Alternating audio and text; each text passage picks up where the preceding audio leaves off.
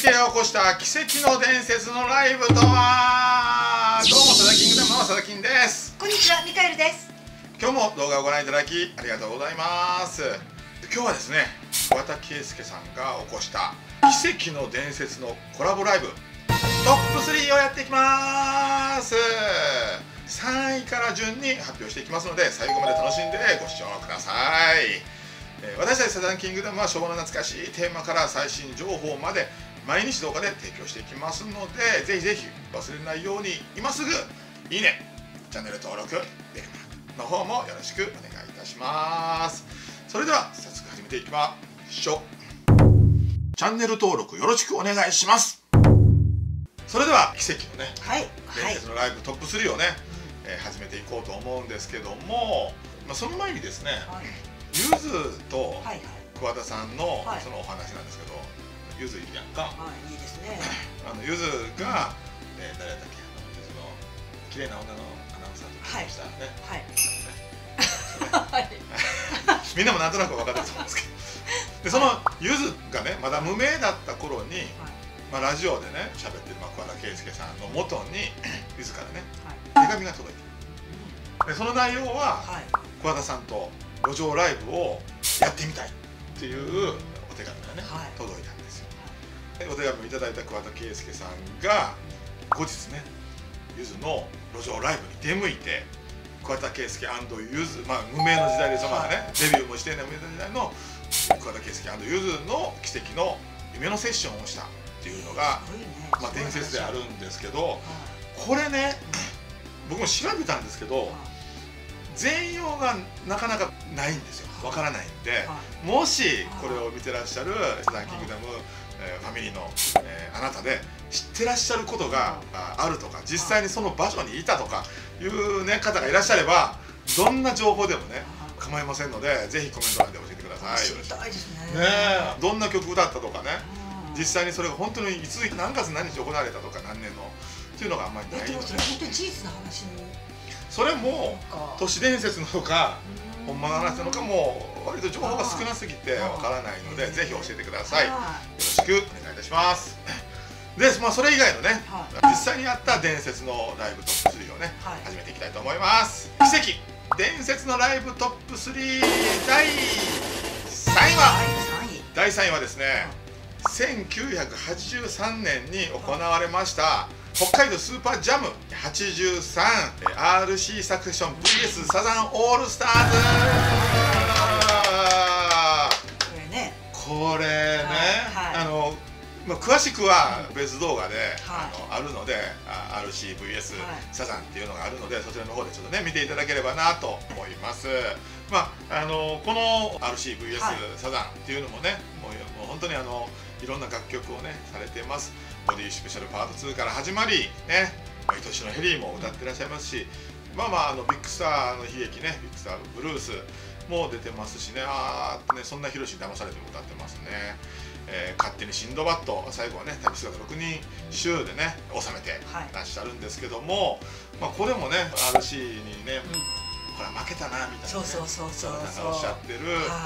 回なんですけど、はい、まあそれまでは、うん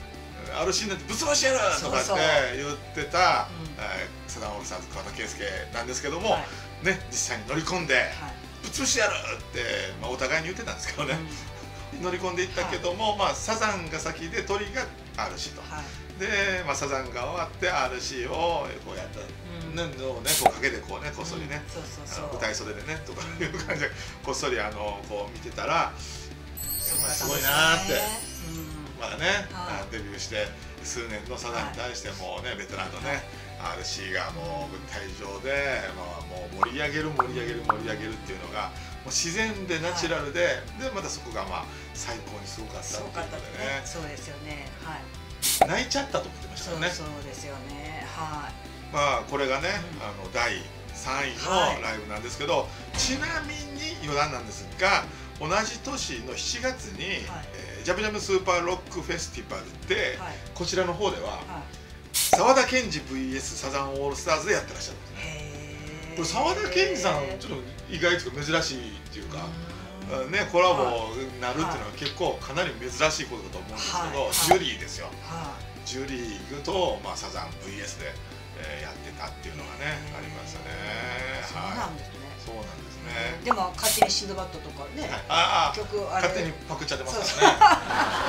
まあまあその勝手にパクっちゃってるのもまあ動画あるので もうもしよかったらまた見てくださいね。はい。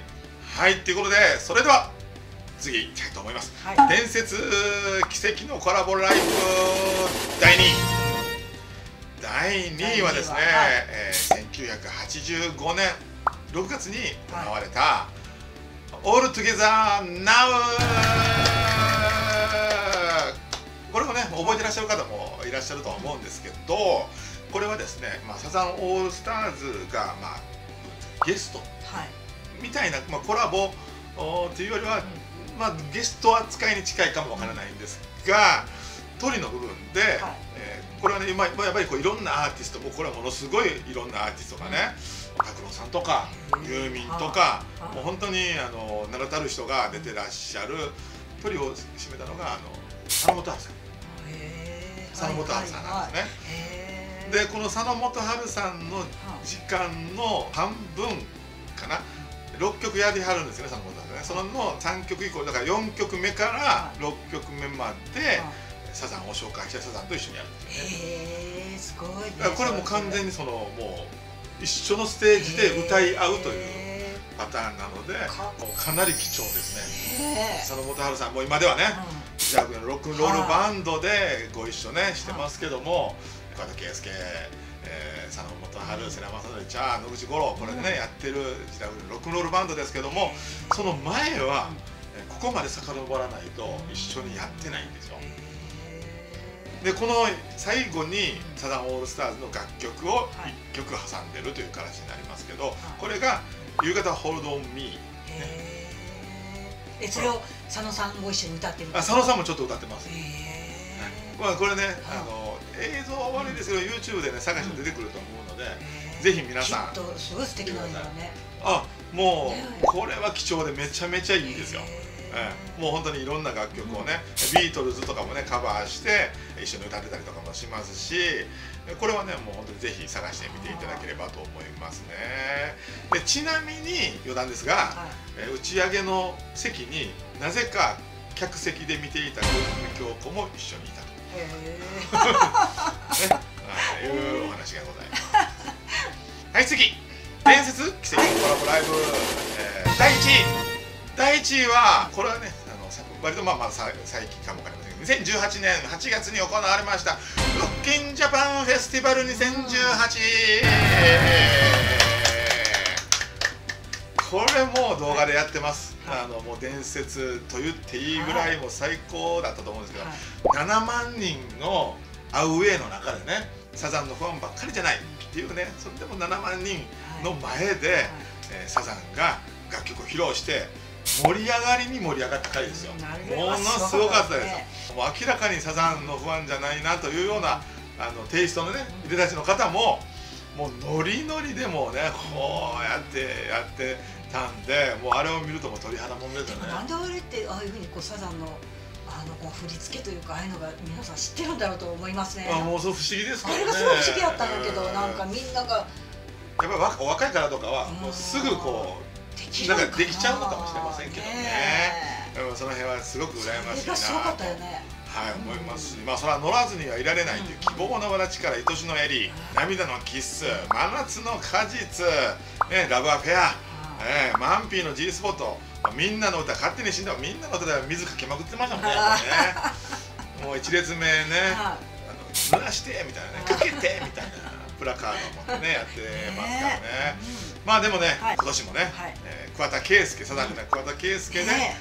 ジャパン、まあね、出られる。曲どんな選曲でね歌うのか。ねやれるのかまだ伝説を残すのかね興味非常にあるところでございますね。はい。でまあちなみにですけれどもこの動画も YouTube のね公式にね一部出てますので、サザン公式の YouTube チャンネルに出てるのでぜひ見てい。ただいてどんな7万人の状態ていただけたらなと思っております。はい、はい、ということで、えー、今日の伝説の奇跡のコラボライブ3いかがだったでしょうかね皆さんね。はい、いかがでした？いやーなんか佐野さんと桑田ね 桑田さんがそうやってこう一緒にはい。歌ってるっていうのがやっぱりあのすごいなと思って見てみようと思いますね私。ああそうやね。ちょっとまだ見れてないのでね。はい。はい見てみます。見ていただきたいと思います、はい。皆さんもぜひ見てくださいね。ははいで今日のね奇跡伝説のライブトップ3ね皆さんの感想ぜひコメント欄でお待ちしてますのでよろしくお願いいたします。私たちサザンキングダムは1978年デビューのサザン桑田佳祐さんを中心に、昭和の懐かしいテーマから最新情報までお送りしていきますのでぜひいいねチャンネル登録ベルマークの方もぜひぜひよろしくお願いいたします。それではまた次回の動画でお会いいたしましょう。バイバイ。チャンネル登録よろしくお願いします。